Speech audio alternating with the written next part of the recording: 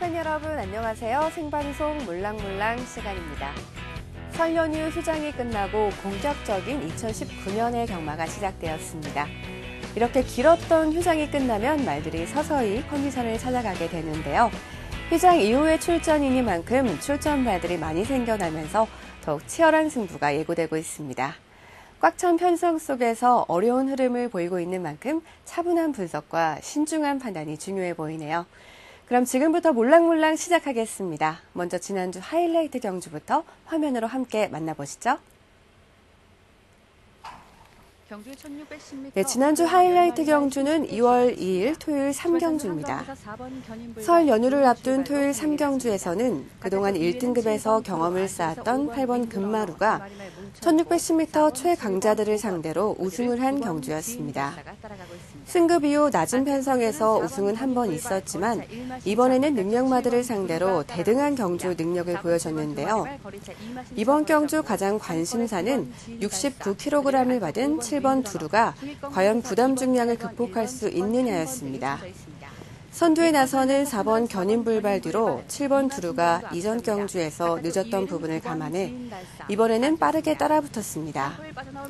그들을 5번 윈드러너와 8번 금마루가 중간 그룹을 형성하였고 맨 후미에서는 6번 백록천지가 따라갔습니다.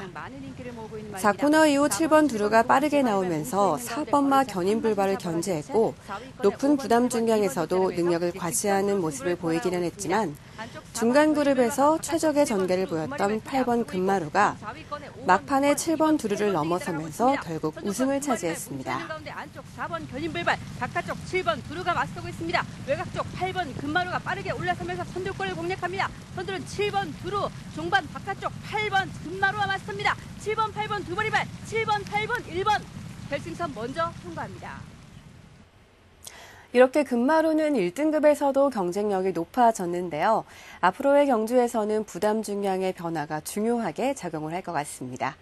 그리고 아쉽게 2위에 그쳤던 두루지만 높은 부담 중량을 짊어지고도 금마루와의 코차의 접전을 보여줬기 때문에 다음 경주에서의 활약상이 더욱 기대가 되네요. 그럼 오늘의 선정 경주를 살펴볼 시간인데요. 금요일 중계 경주인 사경주를 준비했습니다. 관전 포인트부터 살펴보시죠.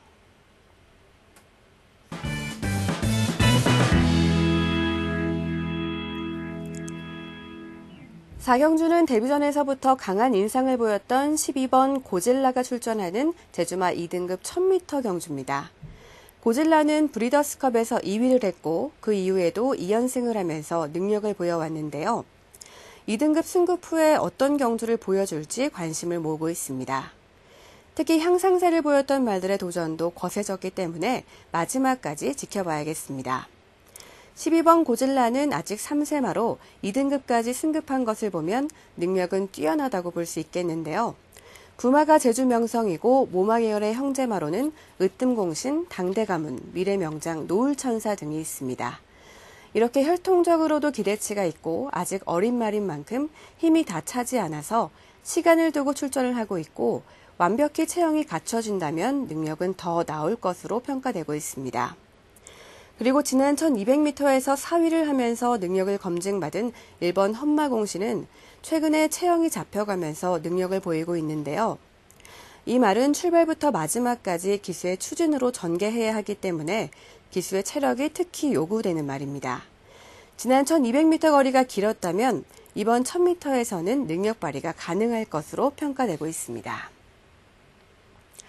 네, 사경주는 고질라와 험마공신 외에도 평소보다 늦은 출발을 하면서 제대로 된 전개를 보여주지 못했던 7번 삼다보배와 외곽에서 빠르게 나오면서 우승 경험을 펼쳤던 5번 새벽찬가 그리고 거리에 대한 기대감을 갖게 하는 말들이 또 몇몇 있는데요.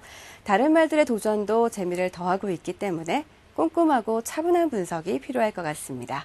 계속해서 출전마들의 최근 경주 영상도 함께 보시죠.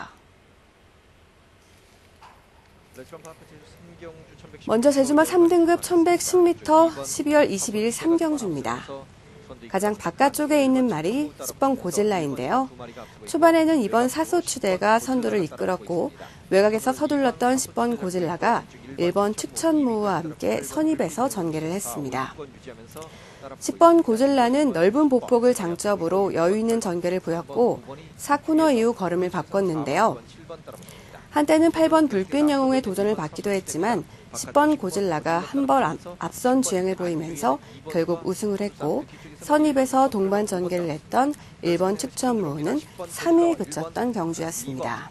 사소추대 두 마리 선두 접전 안쪽으로 1번도 따라 붙고 있고 뒤쪽에서는 6번, 8번도 거리 좁히기 시작합니다. 2번은 뒤로 쳐지기 시작합니다. 8번 불빛 영호가 10번 고질라 안쪽에 있는 1번 직천무까지 세 마리 접전입니다. 바깥쪽 10번 고질라의 역주가 돋보입니다. 8번 아, 불빛 영호가 10번 고질라 두 마리 싸움입니다. 1번 직천무는 3위로 밀렸습니다. 8번, 10번 두 마리 접전 바깥쪽에는 10번 고질라의 막판 역주가 돋보이면서 10번이 선두를 잡습니다. 8번 불빛 영호 2위로 밀렸고 1번 직천무가 3위까지 10번, 8번, 1번 세 마리 앞서면서 결선도 갑니다.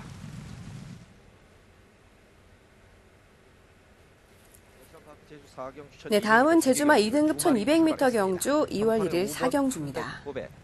초반에는 9번 백호보배가 선두에 나서는가 싶었지만 10번 험마공신이 빠르게 선두 그룹을 형성했는데요.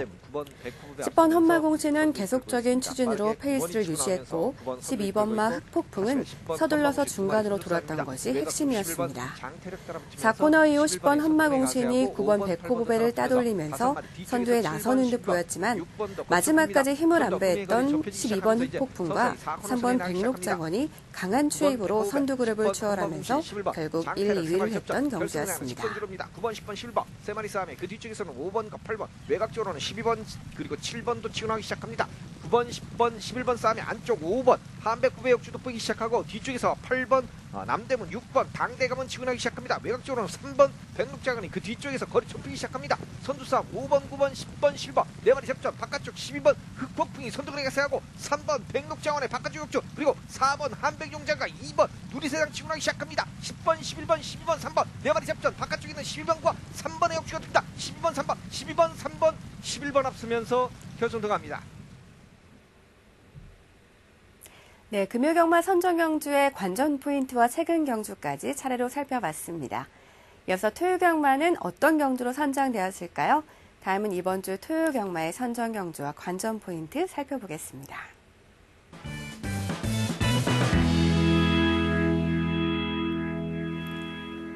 토요일 3경주는 한라마 1등급 1400m 경주입니다.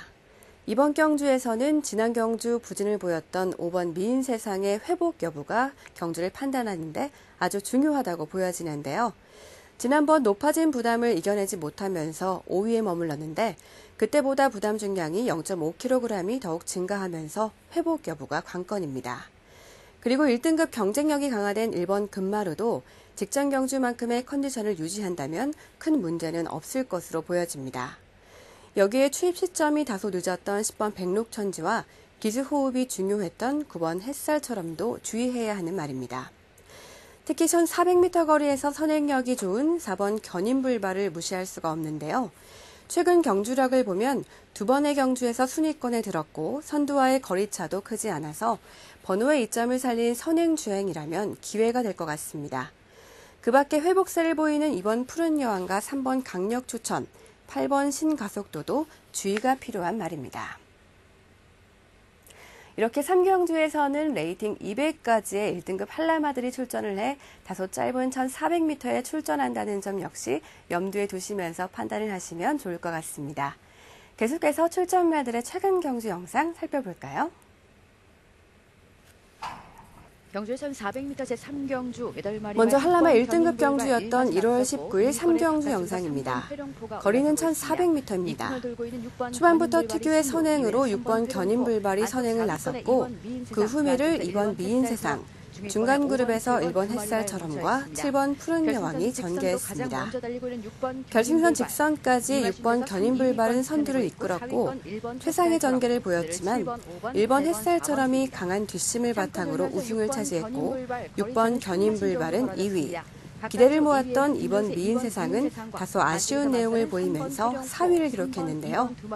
여기에 그동안 서서히 컨디션을 끌어올렸던 7번 푸른 여왕이 3위를 하면서 변화를 암시하기도 했습니다. 7번, 5번 순으로 이제 직선주로 승부에 나섰습니다. 안쪽에서 6번 전현주세 견인불발 그대로 앞섰고 2위권의 바깥쪽 2번 미인 세상과 안쪽에서 1번 햇살처럼이 올라서고 있습니다. 안쪽 코스를 파고들고 있는 1번 햇살처럼 선두 6번 견인불발과 거리 차는 이마신 바깥쪽 1번 햇살처럼 안쪽에서 6번 견인불발 선두가 위태로운 가운데 외곽 쪽 7번 푸른 여왕까지 함께합니다. 선두를 바깥쪽 1번 햇살처럼 1번, 6번, 7번 1번, 6번, 7번 결승선 먼저 통과합니다. 다음은 지난주 한라마 1610m 2월 2일 3경주입니다. 가장 관심 많은 7번마 두루였습니다. 초반에는 여지없이 4번 견인불발이 선두에 나섰고 그 후미를 7번 두루에 이어 8번 금마루, 1번 햇살처럼 6번 백록천지 순으로 전개를 했는데요. 4코너 이후 4번 견인불발은 7번 두루에게 도전을 받으면서 차츰 후미로 밀렸고 중간 부분 최선의 전개를 보였던 8번 금마루가 추입하며 최종 우승을 차지했습니다. 이어서 1번 햇살처럼이 3위를 했고 추입이 늦었던 6번 백록천지가 아쉽게 4위에 머물렀던 경주였습니다. 안쪽 4번 견인불바가 바깥쪽 7번 두루 두 마리만 크게 앞서고 있고 3, 4위권에 5번, 9번, 2번, 8번 등이 따라가고 있습니다. 선두권 두 마리만 뭉쳐있는 가운데 안쪽 4번 견인불발 바깥쪽 7번 두루가 맞서고 있습니다. 외곽 쪽 8번 금마루가 빠르게 올라서면서 선두권을 공략합니다. 선두는 7번 두루 종반 바깥쪽 8번 금마루와 맞섭니다. 7번, 8번 두 마리발 7번, 8번, 1번 결승선 먼저 통과합니다. 네, 이번 주 선정된 주요 경주들의 핵심 포인트와 최근 경주까지 살펴봤습니다. 계속해서 레츠런 파크 제주 오늘의 경주로 기상도 보겠습니다. 레츠런 파크 제주 오늘은 흐린 날씨가 계속해서 이어지겠습니다. 경주로 함수율 8%로 양호, 습도는 90%, 바람은 북서풍이 불고 있습니다. 네, 날씨도 제법 풀리면서 봄을 기다리고 있는 2월의 경마일입니다. 짧지만 알찬 2월 보내시고요. 오늘도 기분 좋은 경마일 되시기 바랍니다.